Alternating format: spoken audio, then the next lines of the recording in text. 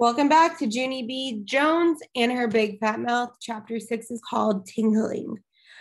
I couldn't sleep for the whole weekend. That's because I had a tingling excitement in me about job day and my brain wouldn't settle down. And so on Monday, I zoomed to the bus very stop very fast.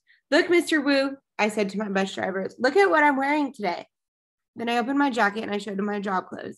See, it's my nice pants and dangling keys and paintbrush, I said. Except for I can't tell you what I am because it's my special secret. Then I plopped down in my seat and me and Mr. Woo drove to the next corner. That's where my bestest friend Grace got on. She was wearing Mickey Mouse ears and a dress with red and white polka dotties on it. Grace, I said, very smiling, you look very beautiful in that dotty thing. I know, she said. That's because I changed my mind about who I'm going to be when I grow up. Now I'm going to be Minnie instead of Mickey. Then I stopped smiling and my stomach felt very sickish again because that meant Minnie Mouse was a fake too. Disneyland is a fib, I said. After that, the bus stopped again and William got on. He was wearing a Superman outfit, except he had a W on the front of him and not the letter S. The W stands for William, he said to Mr. Woo. Does that mean you can fly? asked Mr. Woo. Then William grinned very big and he held out his arms and he jumped way high in the air, except for he didn't fly. And so he just sat down. After that, the other kids got on the bus too.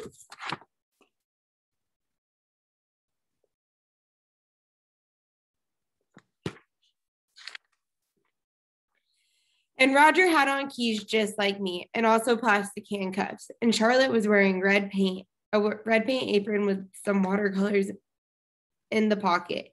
And that meant Jim was wearing a white bathrobe. Hey, I've got a bathrobe just like that. Jim, I said very friendly. It's not a bathrobe, he said. I'm a kung fu karate kid. Jim is a kung fu karate guy, I said to Grace, except for he just got out of the bathtub. Then me and her laughed and laughed because that was a funny joke, of course. And job day was going to be the funnest day in the whole wide world.